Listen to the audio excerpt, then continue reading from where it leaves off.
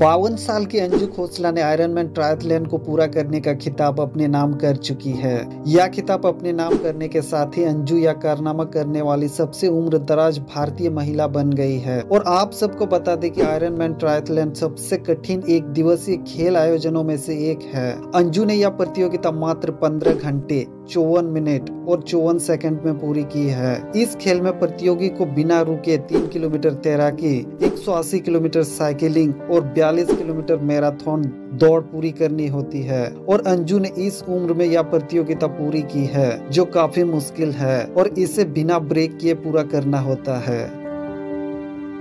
और आपकी जानकारी के लिए बता दें कि अंजू दिल्ली की रहने वाली है और उन्होंने ऑस्ट्रेलिया और कारेथिया में भी पूरा किया है। हिंदुस्तान टाइम्स की खबर अनुसार, अंजू एक फाइनेंशियल सर्विस कंपनी की एमडी है और अंजू का कहना है कि मेरा परिवार फिटनेस पर बहुत ध्यान देता है और यह हमारे जीवन का एक महत्वपूर्ण हिस्सा है। यह पिछले दस सालों से चली आ रही एक मेहनत है, जिसने मुझे इस स्थान पर खड़ा किया है और कई महिलाएँ विशेष रूप से भारत में खेलों पर हिस्सा नहीं लेती है, क्योंकि मैं रिकॉर्ड देख रही थी और मुझे पता चला कि मैं इसे पूरा करने वाली पांचवी भारतीय महिला हूँ और मेरी उम्र के आधार पर मैं इसे करने वाली सबसे पुरानी भारतीय महिला बन चुकी हूँ। सो so, दोस्तों बावन साल की अंजू खोसला का ये कारनामा कैसा लगा हमें कमेंट में ज़रूर बताएँ। और वीडियो पसंद आई हो तो प्लीज़ चैनल को सब्सक्राइब ज़रूर करें। जय हिंद जय भारत।